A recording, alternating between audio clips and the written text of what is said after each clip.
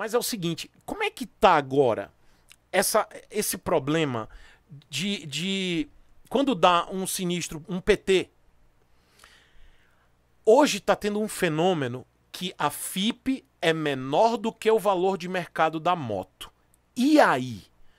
Hoje, eu vou dar um exemplo. As concessionárias estão praticando o preço de 26 mil reais no XRE 300. Algumas, tá? Eu tô dizendo no, no absurdo, no máximo. 24, 25, 26. 26 no extremo, tá? Mas 24 mil no XRE. Preço de FIP da XRE, eu acho que é 22. Eu não lembro. Como é que faz? Porque o caboclo. Vamos lá. O caboclo tem uma XRE 2020. Aí o caboclo. Ou uma 2021. Vamos supor o caboclo acabou de comprar a moto. Acabou de comprar. Pagou 24 mil, cacetada. Aí o caboclo sai do. Tipo, uma semana depois PT. Ou foi assaltado, ou perdeu a moto. E aí? A FIP tá 22. O caboclo não consegue comprar uma zero. Por que isso? É verdade? Ah, o que, que acontece? Uh, um exemplo de, da, das seguradoras, Porto Seguro, Mafre, Sul América. mais completas. Uh, no momento que você pegou uma moto, você envia a nota fiscal. Então, você tem de 90 a 180 dias de valor de nota fiscal garantido. Tá? Então, mesmo que a FIP seja menor, você tem a garantia que do que você pagou vai estar coberto. Por isso que nós dias. aconselhamos do, por isso que nós aconselhamos fazer o seguro antes de tirar da concessionária. Porque a moto zero, a seguradora paga o que está na nota fiscal. Ah, tá. A moto não é mais zero. Se o cara tirou da concessionária e quis fazer o seguro depois, que ela não caracteriza mais zero, vira a tabela FIP. Tá. Todo... Caraca, velho, eu não sabia disso. É isso aí. É isso Peraí, aí. por favor, repete. Por favor. A moto zero quilômetro, por isso que a gente aconselha fazer o seguro antes de tirar da concessionária. Porque quando a moto na pólice de seguro aparece como zero quilômetro na pólice, cuidem muito, tá? Quando você tira a moto e a moto aparece como zero quilômetro, você tem garantias de, depende do contrato que nós vamos fazer, de 90 a 180 dias como zero quilômetro. A garantia paga o valor que você pagou na nota fiscal. No momento de sinistro, apresenta a nota fiscal, eles pagam. Se fizer o seguro uma semana depois que tu tirou da concessionária, já emplacou, tá? Tu vai fazer o seguro, tu vai fazer ela como uma moto usada, não vai ser mais como moto zero. Aí, moto usada é tabela FIP. Desculpa, mas no contrato desse seguro é tabela FIP, 100% da FIP. Tá? Caraca. Uma questão que eu queria informar também. Isso vale para carro também. Isso vale para carro, tá? Caraca. Uma questão. A tabela FIP no Brasil ela só serve para a questão do seguro. Ela serve para balizar o seguro. Ah, é para isso que existe a tabela FIP, senão existia valor de mercado, né? Só que para seguro precisa ter um contrato. Quando você for terceiro de uma seguradora, quando acontece muito para moto, tá? A maioria dos, dos, dos, acidentes de moto, a moto é vítima, tá? Então, quando é vítima, é acionado o seguro da outra pessoa. Quando é acionado o seguro da outra pessoa, não tem tabela FIP, é valor de mercado. Tá? Então você pode sim querer cobrar a mais, ou se a seguradora achar que o valor de mercado dessa moto é abaixo da FIP, ela pode sim pagar a menos que a FIP. Porque ela só tem contrato com o segurado. Com o terceiro não existe contrato. Ela pode pagar sobre o valor de mercado.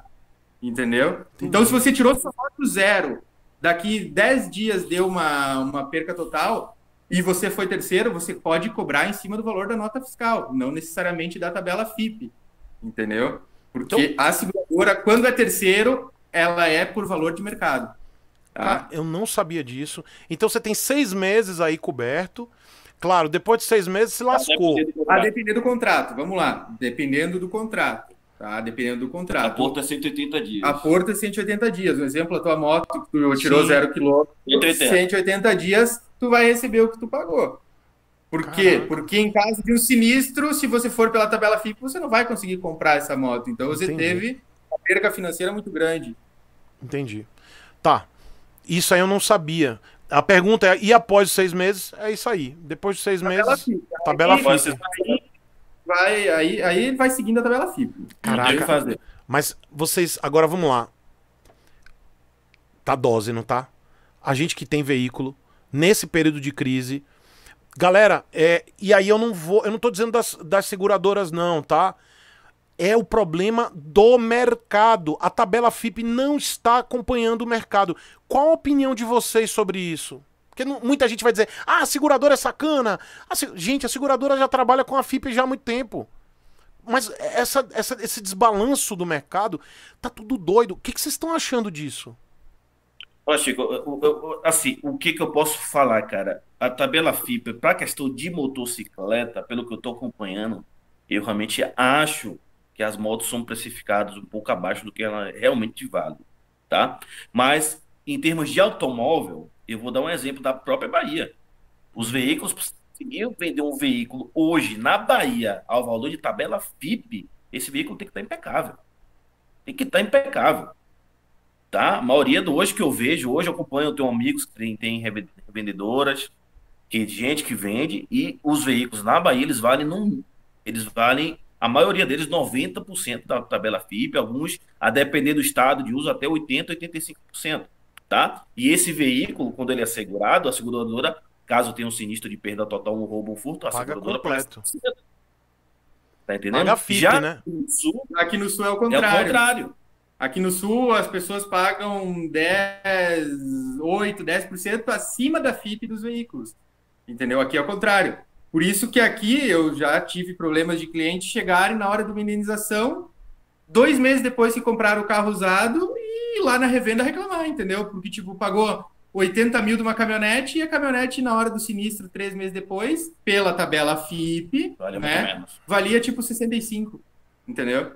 Perdeu 15 mil em questão de dias. Mas, obviamente, é sempre pela tabela FIP, né? Só que aqui no Sul tem essa cultura, é, principalmente aqui a gente brinca com a placa I. Se é placa I aqui no Sul, o carro vale 10% a mais da FIP, entendeu? Porque é um carro local, é um carro local, é um carro que só Não é de fora. que não é de outros estados. Da Bahia, é um por carro exemplo, que vem para cá. Carro que vem de fora para cá tem preconceito muito grande, tem um preconceito muito grande.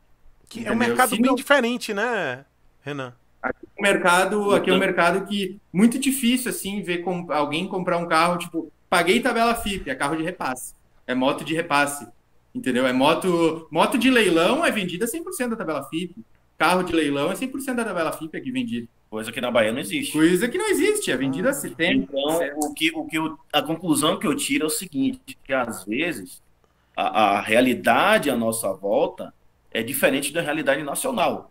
E como a FIP é uma tabela de âmbito nacional, tem gente que vai achar ela alta e tem gente que vai achar baixa. Não, cara, vocês estão dando aula aqui. Porque são, são. Olha que legal, a BNP, muitos de vocês, vocês ficam, pô, mas por que, que tem um, um, um- um DDD 71 e um outro DDD lá do Sul? Gente, é que são sócios de dois pontos do país, mas eles atendem o Brasil inteiro. Tá? Se você quer fazer de qualquer parte, tem inscrito meu que é do interior, do interior, do interior que já fechou com vocês.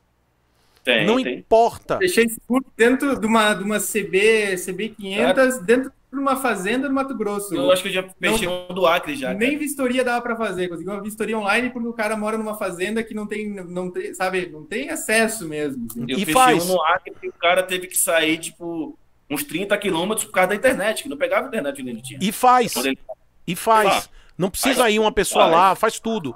Gente, não perde Não, o aí dinheiro. A única coisa que a gente precisa hoje é a internet.